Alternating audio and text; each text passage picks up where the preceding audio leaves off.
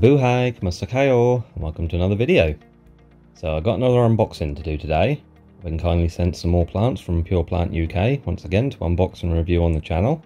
Five plants in here, and unlike last time I do know what's in here this time. So before we start I'd just like to thank Dorota from Pure Plant UK for sending these plants. And on the website there is a summer sale on at the moment. If you enter the code summertime at checkout you'll get 20% off your order. So yeah, let's get this box open.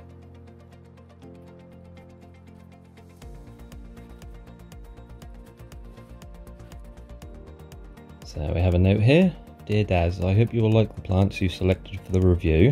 I didn't have the Acanthocalycium available unfortunately, so I added some replacements instead.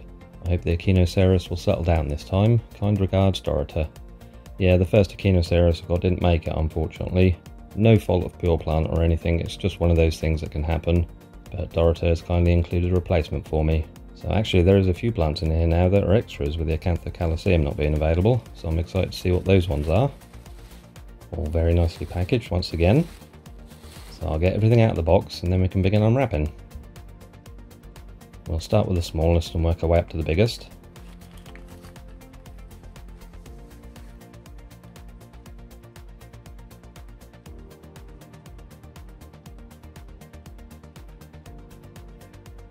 Ah, nice. Been after this one for a while. This is Lobivia famatimensis. Fantastic looking plant. Some nice purple coloration in there as well. These get fantastic looking flowers on them as well.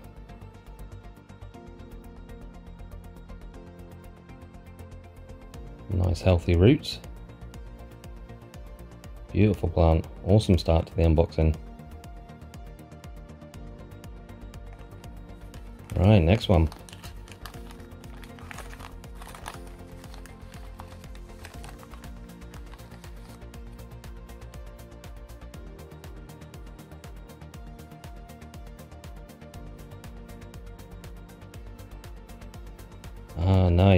So this is one of the extra ones. This is Frailea mammifera. I do already have a few of these that Catherine from Purple and Thorn sent me, but I certainly don't mind some more. Lovely Frailea, these ones.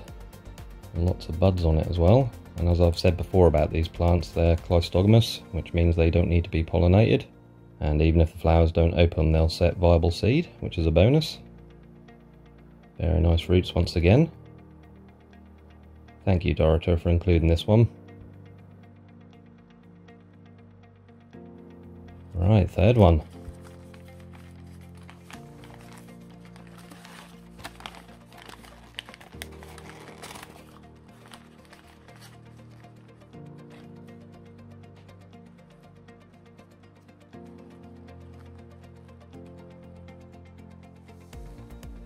Ah, nice, double header.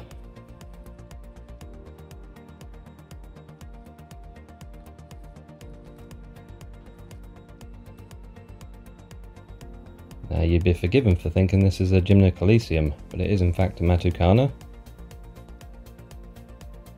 These get lovely golden yellow flowers on them, and I read as well the flowers on these ones stay open day and night. I've quite a few Matucana now, and this one is a lovely addition to the collection. Lovely roots again. Don't think I'll separate these, I'll leave them together.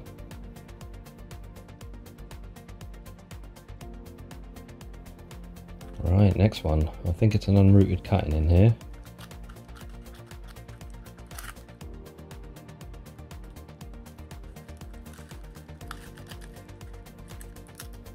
It is indeed. Wow, those spines. Not going to touch this one because this is a Tephrocactus, so it might have glochids on it. Amazing spines. I've got a bit of a thing for Tephrocactus at the moment. Ever since my friend Phil sent me a Geometricus, I've been wanting to get more of these plants. And there's several others I'm after, and there is another Tephrocactus in this box too. This should root up pretty quickly as well. Alright, next one.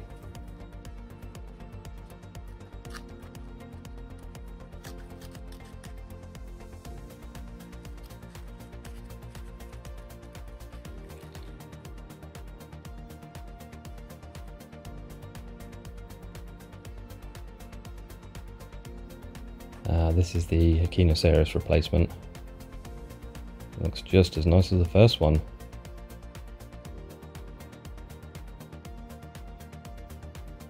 Might have a bud coming through there as well. Thank you Dorota for replacing this. Unlike some other Echinocereus, this one can be a bit more sensitive. I'm sure this one will be fine. This of course has an amusing name, knippelianus. Once again a lovely root system.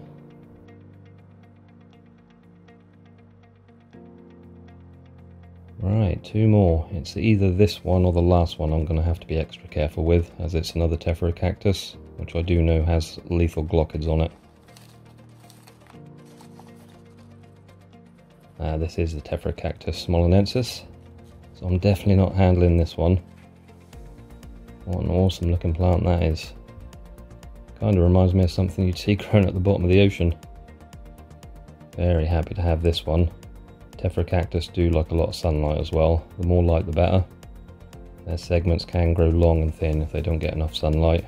So uh, this one will be going in the greenhouse. Just show you the roots as well without getting a load of glochid stuck in my fingers. Pretty nice roots. I have noticed on Tephro they don't seem to have substantial root systems on them. And of course, being a Tephro they are extremely drought tolerant plants as well, so you have to be a little bit more careful on the watering with these ones. Alright, final one. I already know what this is because I've seen the label. I do have one already, but the one in here looks like it's going to be way bigger. Wow, that's fantastic. Thank you so much, Dorota, for including this. This is Ferocactus glaucescens, sometimes called the blue barrel cactus. And you can see why, it has a lovely bluish colour to the epidermis. Lovely Ferocactus this one. Very easy to care for as well. I'd say this one is probably three times the size of my other one. Nice healthy roots again. Thank you so much again, Dorota. Lovely plant to end with.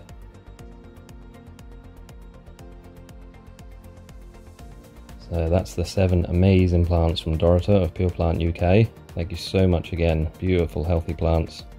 And once again, a few wishlist plants ticked off the list as well. So remember guys about the summer sale Pure Plant UK has going on right now. I think Dorota is going away soon as well. And I think she said the store will be closed for a little while.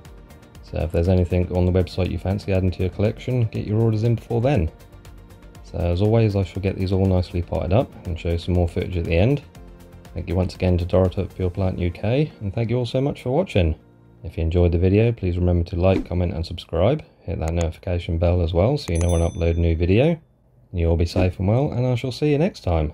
Salamat po paalam. Bye for now.